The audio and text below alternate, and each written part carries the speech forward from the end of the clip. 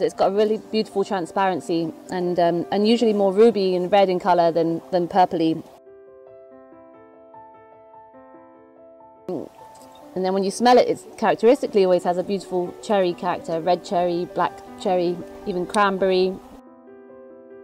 It's a very physical experience because it has this high acidity that makes your mouth water and the high tannins that make your mouth feel dry. So there's all this action going on in the mouth. Yeah. Sometimes it's a matter of energies. The wine is vibrant uh, and this is very much connected to the natural wine. I use the term yummy quite a lot, which is very non-technical. excellent.